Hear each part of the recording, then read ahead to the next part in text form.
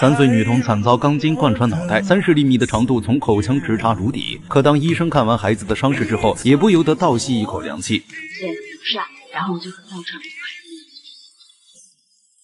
父母听闻如此噩耗，犹如万箭穿心，他们祈求医生救救自己的女儿。说完之后，我们心里受不了，真受不了。这天，医院大厅里，一群人推着一个孩子，慌张地跑了进来。可当医生赶到病床前时，眼前的一幕让他愣在了当场。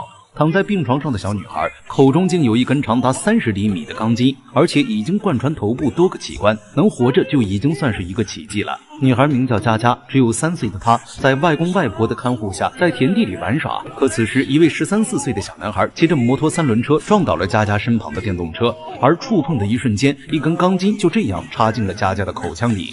眼看女孩危在旦夕，医生们立马开始对佳佳进行抢救。可由于钢筋的特殊性，氧气面罩根本无法挂上佳佳的头上。出现脑疝，然后就会造成孩子。医生立马开始对佳佳进行初步检查，用手电筒光比划脚心来刺激孩子的神经，可结果没有任何反应。体温更是达到三十九度。最后，经过各科医生的诊断，他们必须要用最快的速度来为佳佳做手术。随后，医生专门找到父母，并告知他佳佳在手术中的危险。首先是大出血问题，由于钢筋已经深深插在了佳佳的脑子里，主刀医生稍微用力不均匀，可能会造成失血过多，孩子的情况会更加危急。第二就是脑中的脑脊髓液可能会喷洒而出，严重的感染可能出会出现脑炎。脑脓肿，医生的话犹如万箭穿心，一字一句深深地扎在父母的心里。父亲愣在当场，已经无法思考了。而母亲抹着眼泪，深深对医生鞠了一躬。他的脑海里一直想着女儿的惨状，自己的精神随时都有可能崩溃。当时就不知道咋了，我就脑瓜子就是撞那个墙在地磕的，我我都不知道磕了多少次。不亏我真不亏我，说实在的。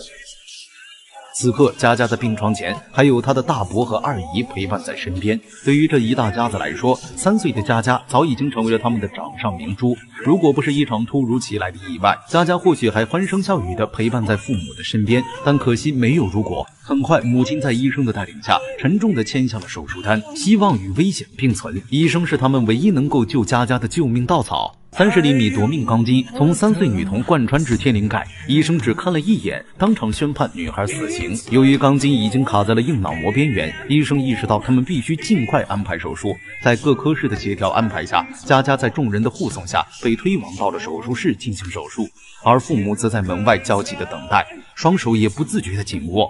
他们眼里只有对女儿的担忧。可医生刚准备开始手术时，他们就遇到了第一个麻烦。由于钢筋占据了麻醉插管的通道，手术无法正常进行。管有点深。对，现在是深。我给你看一下，你测评是吧？两边一样吧？两边一样。一样。你看一眼多少啊？十五，行吗？好在医生经过喉镜的引导，成功麻醉。这还只是手术的第一步。接下来，他们还要迎来新的挑战。由于钢筋插入的脑部位置深，主刀医生无法通过影像资料来判断钢筋是弯曲还是直的。一旦钢筋是弯的，贸然拔出可能会造成更危险的情况。而医生只能通过内镜慢慢摸索。可由于佳佳鼻腔空间太小，再加上钢筋插入进去之后已经挤压了其他的细胞组织，医生依然无法探查到钢筋的顶端。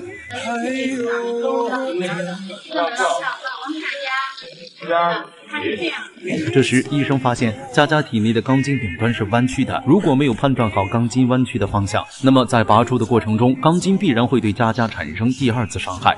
这是医生们所不愿意发生的事情。而预判钢筋弯曲的方向，则将会是这场手术最大的难题。就当所有人不敢轻举妄动时，主刀医生张杰主任站了出来。他决定自己亲自拔出这枚元凶。随后，张杰主任握住钢筋的尾部，慢慢移动着整个钢筋的位置。在场的所有人屏气凝神，甚至都不敢大口喘气。他们死死盯着张杰主任的手部动作。快完了，快完了，走，往外走了。好在张杰主任判断正确，这条危害佳佳生命的元凶终于显露出了他的真面目。可医护人员还没来得及高兴，更大的风险还在后面。来，给我一个那个纱纱布。还行，还行。医生立马开始检查佳佳脑部，在拔出钢筋时，周围有无损伤的情况。可他们最不愿意的情况还是发生了。颅顶那块呢，还是有相当的一些血性的分泌物出来。与此同时，门外的父母还不清楚女儿已经站在了生死的悬崖边，他们只能在门外祈祷着上天，希望幸运女神能够降临在他们这个不幸的家庭里。挣钱，我得养家，我得养，我得养我女儿。现在有一种自责感，孩儿出生三三个年了，没人陪他。对于整个大家庭来说，佳佳就是他们最后的情感寄托。父母无法想象没有女儿的日子该有多么难过伤心。那么，手术室里的佳佳能否挺过这次难关呢？三十厘米钢筋贯穿女孩头部，生命垂危之际，却没有一家医院敢愿意接收。最终，父母带着最后的希望来到了北京儿童医院。在手术室里，张杰主任刚刚把这条三十厘米的钢筋拔了出来，又经过一系列的包扎之后，小佳佳暂时脱离了生命危险。但父母还没来得及高兴，医生就告诉他们，更大的危险还潜伏在佳佳身边。因为现在可能还是会有一个重症感染的问题，神经系统损那个炎症的问题。那么这个都要一一关一关。随后，小佳佳被医生推往到了重症监护室进行观察。这一路上，父母的眼睛一刻也没有离开女儿。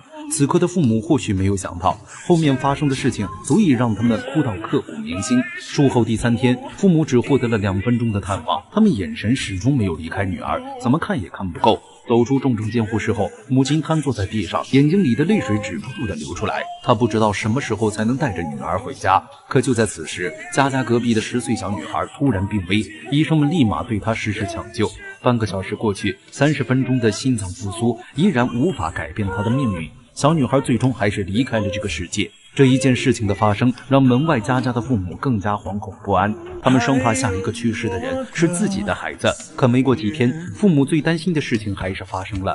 小佳佳突然浑身抽搐，这意味着佳佳很有可能患上脑膜炎。医生立马为佳佳安排做气管切除手术。此时的父母来不及思考，他们唯一能做的就是相信医生，相信佳佳。看着女儿再一次被推进手术室，夫妻二人再次崩溃大哭。女儿所承受的磨难让他们无法呼吸。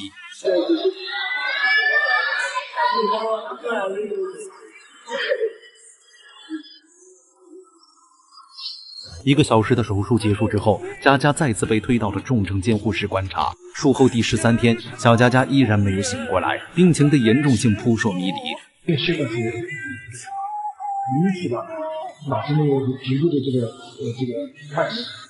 所以说暂时就是有梗塞的威胁到谁，但是最后会让这些留下些残。终于在术后的第二十天，小佳佳已经苏醒了过来，生命体征也慢慢好转了起来，父母心里的那块石头也终于落了下来。